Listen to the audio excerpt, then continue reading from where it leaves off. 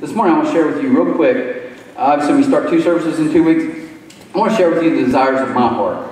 I have a few people coming up. I'm going to share with you real quick. We're closing. We're going to be out of here.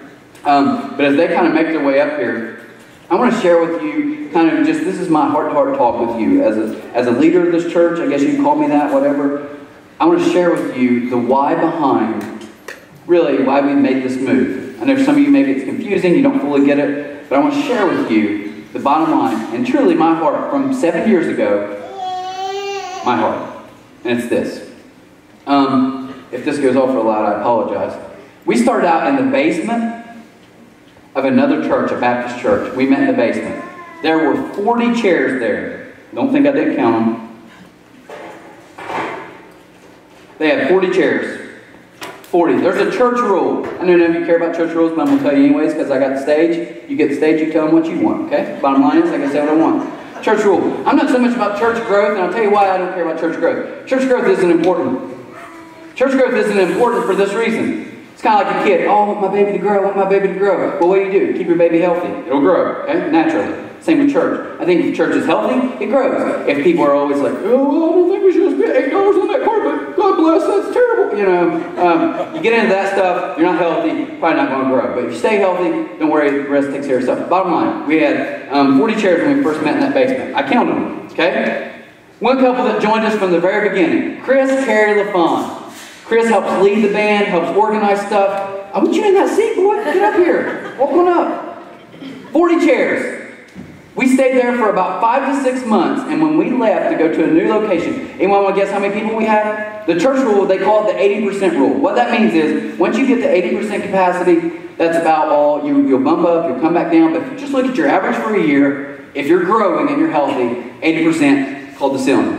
Take it or leave it, don't care. But we had about 40 41 chairs. Guess what? We left there about 32 people. Actually, it was exactly 31 because I remember I was trying to fill out our seats in our new place. Will we fill it up? Will there be anybody there? So scared, all that. 30 people, about 80%. Chris and Carrie, first people. I, I called Chris one day and said, Chris, man, uh, I want you to plan a band. We're starting a new church. What? I said, man, I told you this a long time ago. We might do this. I know. When you starting? Uh, a couple weeks. What? Like, yeah, we're going to do this thing. And I remember he was like, I don't know, I don't, yeah, let's do this. And I was like, yes, you're a moron just like me. We're going to be great together, okay?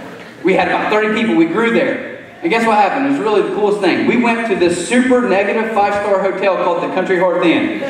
We had 72 chairs. We opened up chairs. And we had new people come. Now you people are supposed to be my volunteers. Get your butts up here. Don't just stand back there. Get up here. You know who you are. They, they won't look at you. They're looking at me, okay? I don't see Miss Joanne. Where are you at, girl? Get in this chair. We gotta go home today. Okay? Guess what? Very first Sunday in the Country Hearth Inn, we had 70 chairs. This lady come walking in the parking lot. Said, hey, how are you? She said, I think you went to school with my son. We hugged. Had no clue who she was. Um, she hugged me forever, though. First week, she's up there, hey, man. I was like, I like this chick. She's good, okay? She was into it. Guess what? This lady also, so many times, would come in early, and she prays over your chairs. And she prays that God would do something in your life for the people who are broken, for the people whose relationships are strained. God, please help them. She came that very first Sunday we moved, official Sunday, about four years ago. Walked in. We opened up chairs. People came. So then we said, okay, man, this isn't working. We got up to about 54 people, about 8% on average. I'm not making this up. Say what you want, it's just true. We get in there, we went to a new building that held about 110 chairs. Man, I was excited. We're going to have our own building. It was going to be awesome. We got new chairs. Here's the problem, though. Our very first Sunday, we had like 140 people. And someone said, You're a moron. You've outgrown your building. And I was like, uh, No kidding. I don't know what to do. I really did. We didn't know what to do. But we opened up chairs. And this couple came to me. They're called the Porters. I was outside in the parking lot after church one Sunday talking to Rob, and he said this. He said, Trent, my biggest desire is I want to serve South Point. And I'm thinking, man, you're the church we want to partner with, we want to serve. They've been some of our greatest outreach volunteers from day one since they joined us. They joined us in the building, came every week. They have a circle of influence of other people that have came since then. What happened? We opened up chairs. Last, last, uh, uh, yesterday, free fall, two locations. I mean, literally gave away thousands of dollars worth of stuff. And you know what we say, people? God loves you. We do too. And we just hope we can help started with people like that, like the Porters. Guess what? 110 chairs, we start averaging somewhere in that 82, 83 people, up and down, back and forth, but it stopped. People were like, man, we're getting kind of full, we got to do something here. Guess what? It's okay, let's pray about it. They call us, can't go to school, can't go to school, find someone like, okay, you go to the elementary, we'll let you use that. We opened up, we have exactly about 200 chairs. You know 80% of 200 is? I looked at our adult average from literally January 1 to right now. Guess what our adult average is if we have 200 chairs? Anyone good at math? We've had exactly 160. Our, our average, uh, exactly 160 adults. 160 adults in chairs. Guess what? 8%. Here's the cool thing. When we came into the elementary, this new couple came in. I remember they came. Joel, who came through the Porters, then got invited by these people. Well, they came in. Their names are the DeLongs. I'm done after this, okay? I know some of you just want to go eat lunch, but you got to bear with me for one second. We opened up chairs. We opened up space. These new people came in, and let me end with this. I was in a truck with Mark from the Iron Free Fall yesterday, and he was talking about his life, talking about his past, talking about the mistakes he's made, talking about their life before they came to C3, hanging on a thread. Marriage wasn't, and I'm not telling they're not perfect married, they know that too. But hanging by a thread. As we were driving back to Ironton, we went to pick up some more stuff. And he said, Man, this church, man, it's done something for us. It's done something for us. Our lives are completely different. You know what was cool while we were meeting in the old church? We baptized Rob and Kim's daughter. One of the very first people we ever baptized. Lives were changed. You know what? Last time, I think it was the last uh, anniversary cookout celebration last last year, we baptized all 84 of these guys' kids. it was nine hours to do it. Hot dogs and hamburgers were cold. It's family.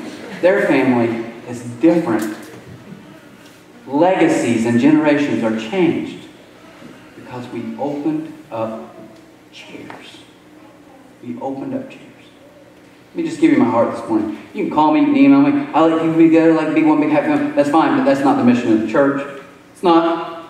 The church, you know what it is? Our calling is to be a light and to share the gospel. Jesus gave us a command. It's called go. Go, share your faith, reach out to people. Jesus said, you know what? When I lived on earth, it wasn't about these people. It's about those people. It's about the people that need me the most. And that's why we open up chairs. That's it. So you are like, yeah, you also get into the numbers game. Think about how dumb the numbers game is. Who do you brag to? I go to McDonald's today. Guess what? In the last four weeks, we've averaged 250 total people at our church. You know, 16 year old girl. Okay, uh, do you want that biggie size number one or you want regular? I could give a crap less. I'm like, touche. No one really cares. So you're like, it's not building anybody's ego because nobody cares outside of these walls. But I do know this. Every time I open up a chair, life's changed. And I will tell you this that's the most important thing to me. That's why we started this church. Because we knew people could find life in Christ and grow to what He's called them to be. That's why. So, with that, even though the volunteers completely stunk at their jobs today, let's give them a hand. Thank you, all. You can leave. Uh, Band and come, we're going to pray. Be,